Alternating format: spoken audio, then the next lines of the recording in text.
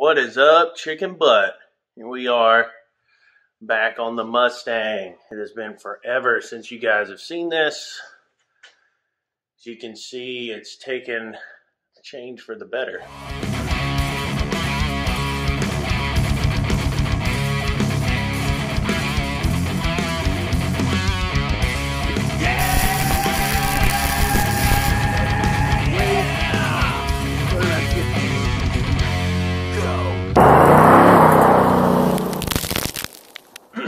Flip the camera. Boom. Extensions. Bam. Extensions and fenders. Little pieces. An intake. This. We got some color. Color. All in the jam. Yes, yes, yes. Roof skin is primed, although it still has many dents in it quarters are primed. I have done nothing with the trunk after I've installed it. Um, gonna have to do this back panel, but I'm gonna do that after I get the car on the ground. This quarter's primed. That's still an epoxy primer. The whole underside of the car has been painted.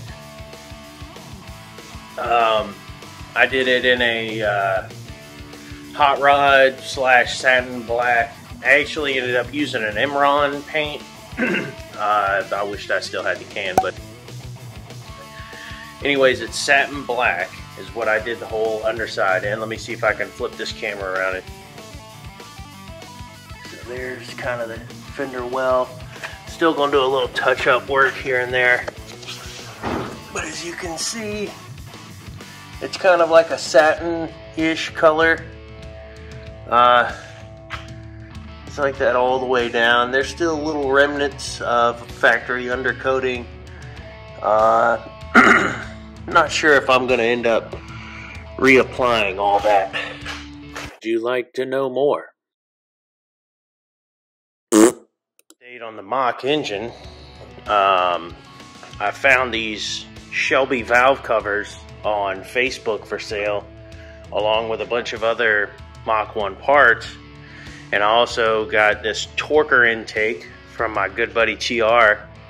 He's got a Boss 351, and I think he had it on that car for many years, and, and he ended up putting it back stock, I'm assuming, or maybe he had a Mach 1, and then, you know, something, another. Anyways, he had an extra 351 intake, and he just gave it to me.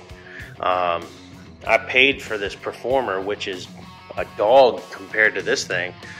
This is, if you haven't seen this before, I got the four dot heads and they are open chamber. And I, I, think I read that the four dots are closed chambered, but these are open. And it is a four barrel. Got all my spindles powder coated. New brake calipers painted up. Shields are powder coated. All my suspension stuff here is powder coated. The rear end's been powder coated, cor mostly correct. The chunk is correct, the axle's correct. I thought the backing plate would have been silver or a raw color that I was trying to emulate with a silver, but I think it was actually supposed to be black, but I'm gonna run with it because it's too late to turn back now.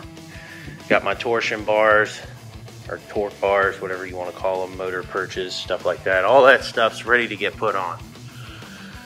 We got leaf springs up here. Boom. Got to put new bushings in there. Uh, got a new bumper up there. The valance picked up from Turkey Rod Run is painted. I finally worked that Endura bumper and got it all fixed up. New hood. Ended up going with a brand new hood got rid of the old one. It's too much work, to be honest. I want to drive the car in my lifetime. I don't want to spend the rest of this century beating dents out of it. Products that don't suck. Listen, if you're going to do a restoration and you're going to do it top notch, get yourself an AMK Master Kit or at least a couple of packs of what you need. So some people may say, man, that's a lot of money for hardware. Dude, I'm not spending that. Well, if you go to Ace Hardware or Lowe's or any place like that, you'll spend about a dollar a bolt, maybe 50 cents a bolt. There's, I don't know, three or 400 pieces here. You do the math, you could spend that on the 265 on this kit and be right, be absolutely correct. The concourse people cannot come around your car and pick it apart for hardware because you will be absolutely correct. Oh, yes. He has made a complete mockery of this Jaguar. Yes, absolutely. He's got the fender bolts here on the bonnet. Yes, I noticed that almost immediately. Five points deducted for this Jaguar. You put it in the right spot, and luckily for you, it tells you right there hood latch and catch bolt set. So you won't be wrong. Now, so you would think, man, this is a lot of stuff, you know? This is great, but you know, it's no cheap venture to get something like this. 265 bucks for this bolt kit here. I mean, honestly, it is a deal. Absolutely. Anybody who's looked for hardware knows this is a deal. Okay? If you go to Ace Hardware, they'll charge you a dollar a bolt. That's right, one dollar, one bolt. And there's over 300 pieces in this kit. Okay? So honestly, you can go spend a dollar a bolt at Ace Hardware and get 300 pieces and be wrong. You can spend it here, get it bagged and tagged and sent to your front door, and it's right. And it's made right here in the USA. I don't know if I can say that about every bolt that's made in Ace Hardware. And honestly, I don't know if these bolts are made here, but it says it's made in the USA on the box. So I don't know if it's talking about the box or the bolts, but I'm pretty sure it's talking about the bolts.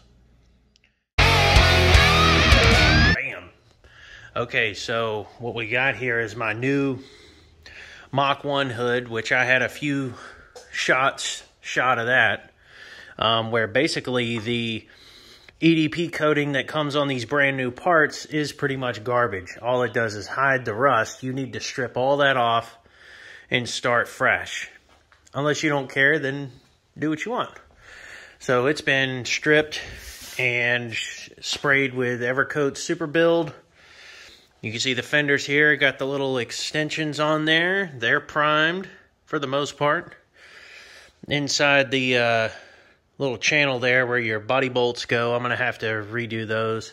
Really give it a good sanding and a nice high build primer. The spoiler has been sanded and primed. First with epoxy, then with the Evercoat Super Build. I've got the front suspension basically hooked up.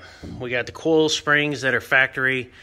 Believe it or not, these goofy little insulators are hard to find, man. At least locally. Nobody carried them. I had to order them off the internet. Uh, caliper is from the regular parts house. All my brake lines and brake stuff is from Right Stuff Detailing. If you can see down there, we got the two brake lines on the ground and the fuel lines over there. Uh, updates are these, the car's basically been jammed and uh, that's all been sprayed.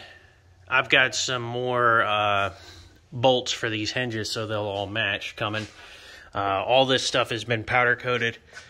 So the full update on the car and where we're at is doors need to be adjusted to the body. The body doesn't move, the doors can. So you adjust the doors to the body.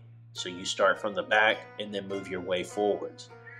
I've seen people try to adjust the nose first and then they're like, oh, it, it only goes one way and then, you know, we'll just fit it to the back. It doesn't work that way, dude. It's not just one way you know, there's endless amount of possibilities and different ways you could align that car. And I'm going to tell you right now the quickest way to get to the best alignment without screwing up all your body work and whatever paint work you have. And I hope you're not trying to adjust one after the car's been painted because you are playing with fire, dude or chick. You adjust the door to the body. The body doesn't move, the door does. So you adjust the door with the hinges. You've got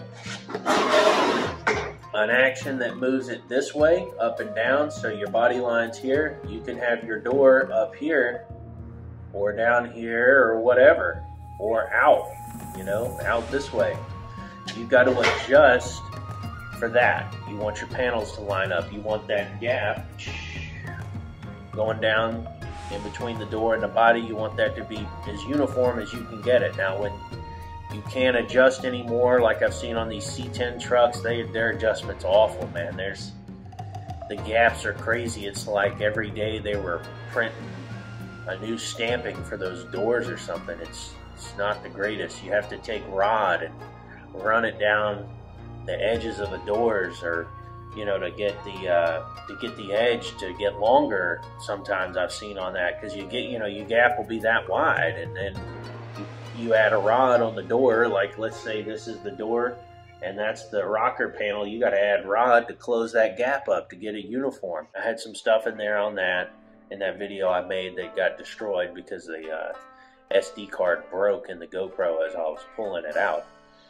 So doors got to be adjusted to the body. Then I can put the fenders on and then put the hood hinges in the roof or the, the hood and get it adjusted properly because I've seen some guys saying that, you know, the hood's arch uh, is not right. They say, oh, you got to get your hood on there and then you may have to stand on it. And I'm like, I'm not standing on my damn hood. What are you talking about, man? But we'll see. You know, a man put it together. I can put it back together. It's not a big deal. My Mustang wheels are on the Cyclone. The Cyclone wheels will go on the Mach 1, but the tires are roasted on that uh, Cyclone on those wheels, and they're 14s. I don't want to buy tires for 14-inch wheels. Uh, that's going to be a really cool project. If I can get this Ram Charger sold, we're putting a 429 Cobra Jet, four-speed, close ratio in that Cyclone, and we are going to do burnouts for days. Burnouts, big time with that car. My goal with that thing is to have something I can mob the streets in and that thing, you know, just cruise around and, you know, kind of be a sleeper a little bit because, I mean, how many people know what a cyclone is, you know?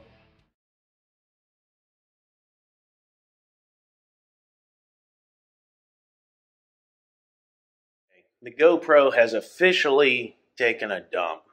I turn it on, it turns off. It'll record for about two seconds, then it says it's repairing my file. And I asked it, dude, if you'd quit screwing it up, you wouldn't have to repair the file, right? But I get nothing from this guy. Look at it. It just sits here blinking. Well, if you wouldn't have thrown all them sparks in my face, maybe I'd work for you. That might as well be a middle finger, right? Anyways, let's switch over to the phone. And I really apologize for all the different edits in this video. But I'm trying to do it. Trying to keep them coming. But I'm dealing with this subpar crap here. If anybody knows of a good camera that's not going to kill me and can withstand being outside in this rugged terrain, put it in the comments. I would really love to know about it.